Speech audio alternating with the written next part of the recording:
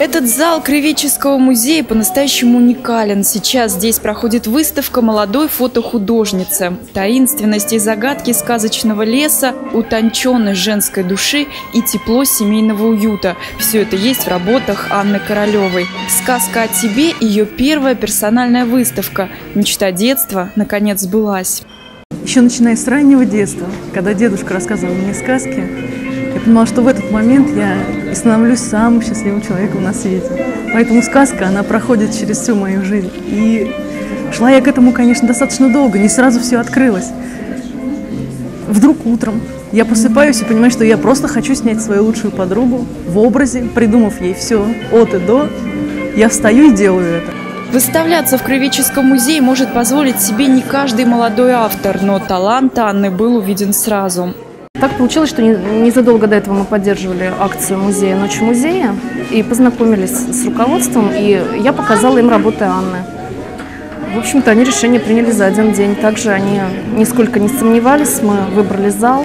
Шесть женских историй, шесть характеров. Анну вдохновляют женщины с нестандартной внешностью. Она открывает им мир сказки и пробуждает в них колдовскую суть. История феи мотыльков – это история превращения, о котором сама героиня даже не догадывалась. А той идеи, кто я буду, какая я буду, то есть ничего это не оговаривалось.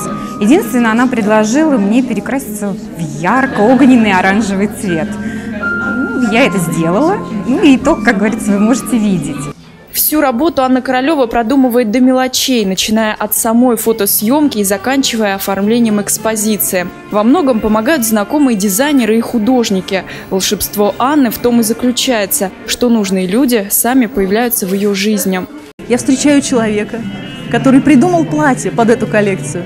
А потом я встречаю человека, который несет чемодан, который должен стать продолжением этой истории. Все притягивается друг к другу, и в этом на самом деле мое счастье. Счастьем фотохудожницы делятся и с остальными. Говорят, что после работы с ней мечты героинь сбываются. А это значит, что у сказки Анны Королевой действительно счастливый конец. Нина Сардейск, Андрей Семиволков, РТВ Иванова.